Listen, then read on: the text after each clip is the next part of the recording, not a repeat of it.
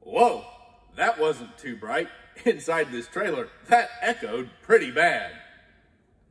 Anyway, what's going on, everyone? It's obvious I'm not in my usual warehouse, but where am I? Hint, it's totally related to today's topic and DCP model to review. Get one while supplies last with the link down below. Give up? I'm in a Wilson cattle pot livestock trailer to talk about, well, livestock trailers. The goal of the transporter is to have his load of animals arrive alive and well. When you hear someone describe a livestock trailer as a bull hauler, a cattle liner, a cattle pot, they are talking about a stock trailer used in the transportation of cattle.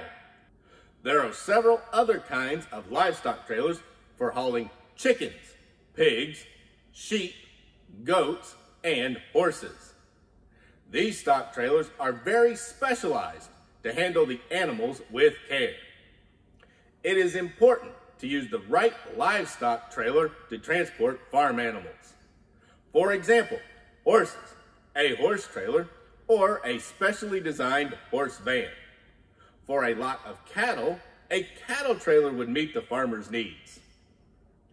A livestock trailer designed to move a large number of cattle at one time has to consider the safety of the cattle. Right above me up here is a drop-down ramp so that you can load cattle into the upper deck.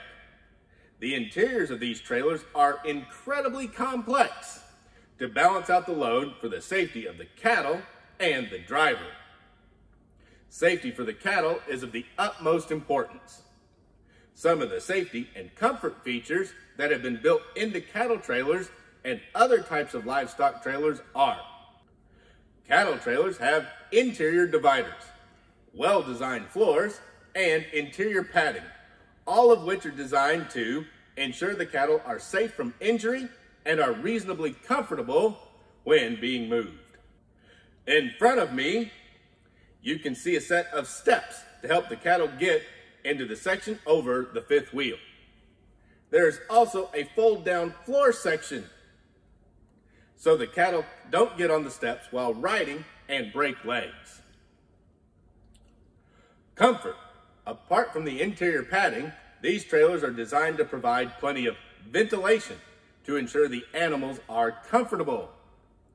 Air must flow freely in all parts of the trailer. If you look all around me, you can see the punched out holes in the side, which let light in and plenty of air for the cattle to keep cool and breathe. Noise can cause stress for the animals, considering that most of them become nervous about riding in these vehicles. Trailers that use screws, bolts, and mechanical fasteners may produce metal on metal scraping noise when in motion and stress the animals. Shifting animals can be deadly for the truck driver as well as the cattle. Consider the amount of live weight suddenly shifting from one side over to the other. The sudden shifting may cause an accident. The gate over on the other side of the floor section is to keep the cattle pinned up so they can't move around inside the trailer. The purpose of the dividers throughout the trailer and specially designed floors are to prevent shifting. The dividers provide a good place for the cattle to lean against when the trailer turns, speeds up, or slows down. They will keep the cattle from shifting back and forth. Shifting cattle will change the balance of the trailer, making it hard to pull and or control.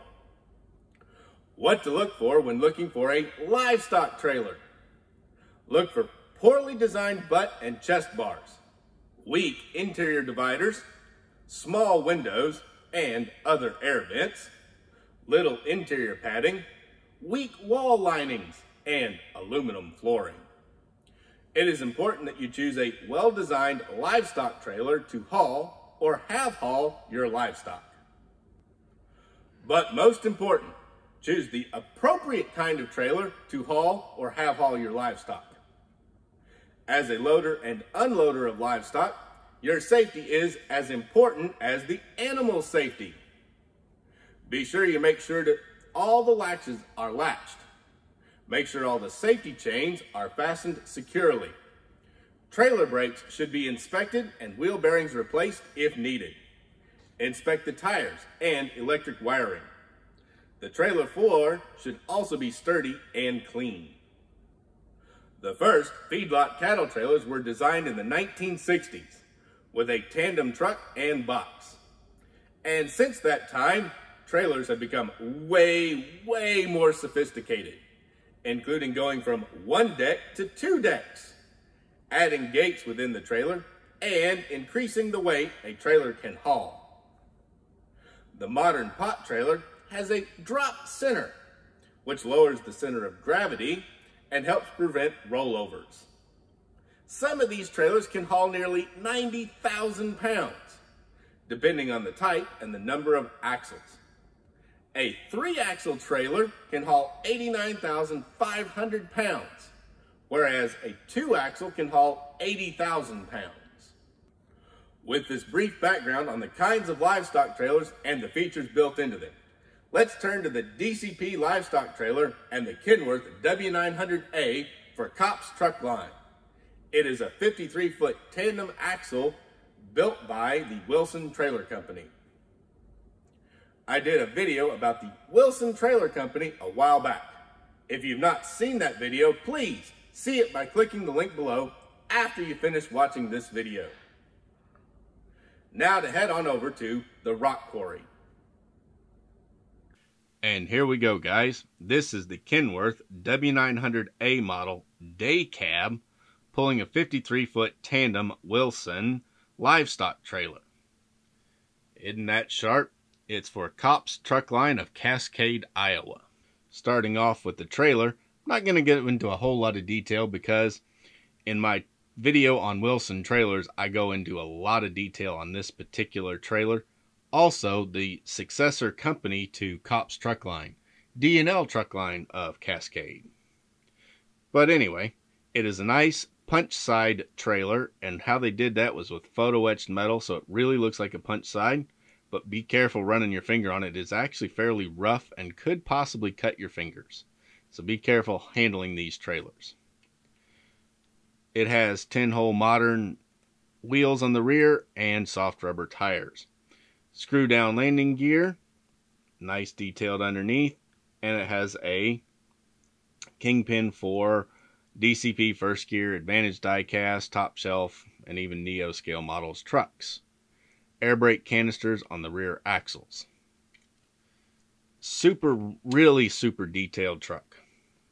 Now, it has a red top on it, and then you can see it has red trim on the back of the truck. There's also red trim up on the front. It's the silver star with the logo there. It's got Koppes of Cascade, Iowa, a family tradition since 1955. Right there on the Tampo, and there's the Wilson Trailers logo. It has a little photo etch piece to protect the brake lights underneath the uh, uh, door on the chute side. Wilson Trailer Company mud flaps on the back. The door does open, so you could put cattle in and it's got all the decking and everything else on the inside. Really sharp. Over here, another great punch side. Pretty cool. Now, to the front, you can see a little more red trim here right at the bottom and red up here from the top. On the um, letterboard, it has Koppes. Silver Star logos there, and then Cascade and Iowa there. And also you've got all your little warning stuff. It's also on each corner here and here, you see the trailer number, which this is trailer number seven. This is a really nice trailer that they made. One last word about the trailer. It does have the screw down type landing gear. Now, let's look at this beautiful A model Kenworth truck. How about that paint scheme with the big red triangle right down there? Really, really nice. It's got the white paint around the chrome air breathers on the side. And then there's a truck number a of number one in a black circle right there on the breather. Koppes Truck Line, Cascade, Iowa on the door. Door latch is tampoed. All this chrome diamond plate battery box is there. Fuel tank back here with its Iowa and US DOT numbers, all of those numbers were required then, right there on the fuel tank, which is painted red. Chrome ladder, chrome quarter fenders, and chrome brackets to hold the rear mud flaps. The newly tooled 10 hole Bud style wheels, the old Alcoas, and these do look like the old ones. It has soft rubber tires, and then on the front, it's they're all chrome. There's no little tampos on them. Marker light there. Chrome mirrors, chrome exhaust stacks with the 45 miters on the top. There's a grab bar here so you can climb up, and there's one on the passenger side. Inside the cab, low back seats, black steering wheel, and dashboard are all in there. This dashboard seats are gray. There's also a gear shift which is black. Passenger side. Another breather with a truck number. Koppes truck line on the doors. You can see the big thick muffler and then the nice tailpipes. For heat shields, they just used a decal with black dots on it. Turn signal on each fender and a marker light down just above each of the headlights. Little black mud flap there. This has got the battery box on the passenger side and then the fuel tank back behind which would have been under the sleeper, but it's behind the exhaust behind the cab on this day cab. Up high, two chrome air horns. Then you have the roof marker lights. Those clearance lights are just cast into the cab.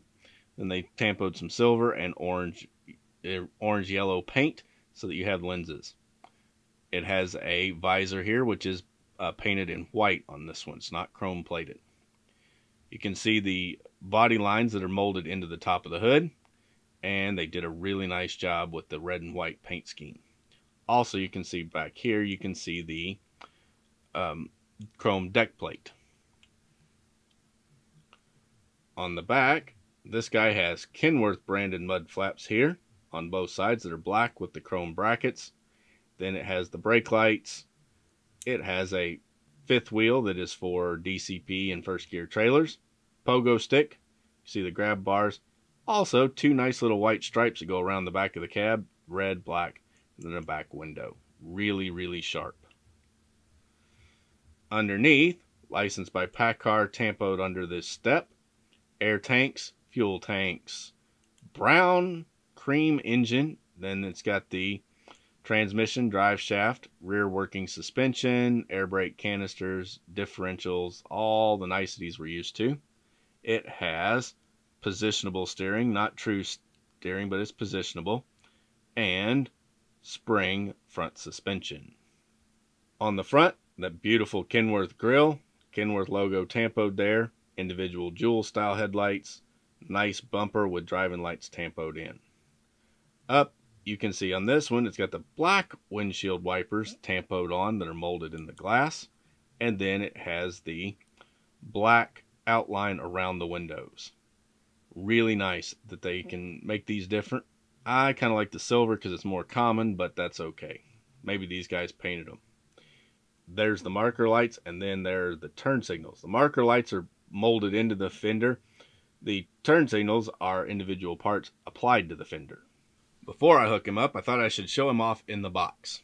Standard DCP by First Gear box ages 14 and up, 164 scale die cast replica, two piece blister on the inside, and the mural there. Then I'll show you the item number. And there it is. It's 60 1010, Koppes Truck Line. And there we go. That is the Kenworth W900A model for Koppes Truck Line. It's a day cab pulling a 53 foot tandem Wilson livestock trailer. Who all is a livestock truck collector? Let me know down in the comments below how many you have. For all the truck collectors out there, this beautiful W900A will set your collection off. So go on and get one while the limited supplies last with the link down below. Keep in mind, this truck was so popular that DCP had to make a second production run and the second production run sold out just as fast as the first. So don't delay in ordering this model or you will miss out. Thanks for watching everyone. Please smash that like button, share this video with your friends, and tap the subscribe to join the 64th Gear Jammers. I'm Logan, the 64th Gear Jammer Skeele, and I'll be back soon with another episode of Toy Talk.